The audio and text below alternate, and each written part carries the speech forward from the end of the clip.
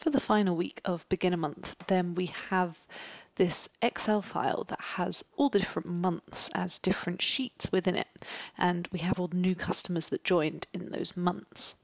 So, one way we could make sure to um, bring all these files together is I could say put out say September I've got there as a file I could bring out July and I could union them together right and that would stack them on top of one another so that I have all those fields that they have in common um, just sitting one on top of the other and they would be stacked together.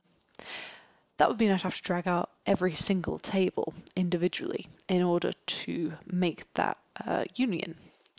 But there is also an additional option. So I'm just going to delete this union here and recreate the wildcard union that we could do instead in the input step. So from the input step, we could go along to the tables tab instead. And you see here where it says single table or union multiple tables.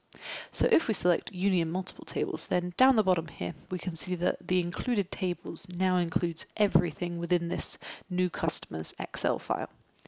So when I click apply, that's a really important step to making the wildcard union work, then we can see that we have all of these 12 tables now highlighted, which means that they're included in the union, and we get a table names field as well as a file paths field. So because it, they all come from the same Excel, that's not going to be too useful to us, so we can deselect that. Um, but the table names is going to be useful because that will tell us what month each of these customers were joining in. So that's how we can bring all these tables together. And that's what I've done up here in this step. So if I view that data, then I can see all the IDs of those customers, what day they joined in in the month, um, their demographics, but oh, I seem to be having some nulls. And that's because if I look a few fields over, I've also got two more demographic fields. Um, it seems like there were some slight typos on some of the months of the data. So I can just click on each of these, so control click to select all three, and then I get this option up the top here to merge those fields together. And that's exactly what I've done in this next step so that we have all those demographic, demographic values together in one field now, which makes it easier to work with. Next up, I want to be able to create a date for my data. So I have the joining day, I have the table names as the month, and then I also know that they all were in 2023. So I'm going to make a calculated field that brings them all together in one field. So this is my calculated field. I just do the joining day, plus a space, plus the table names, plus a space, and then plus 2023.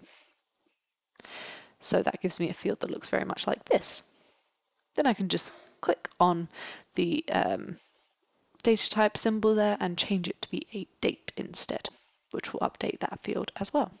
And I can remove those joining days and table names fields so that now I just have all the information contained in one field as a date, which is great. Now we get to the part of the challenge where we want to reshape the data.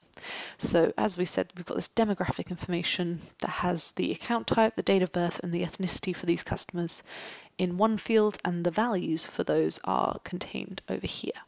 Um, in another field, which is easy enough for us to read. You know, we can see here that all the information about this customer is across three different rows, but maybe not so easy to work with in Tableau, for example, if we wanted to filter to all customers who have a platinum account type, for example, that becomes a little bit more difficult.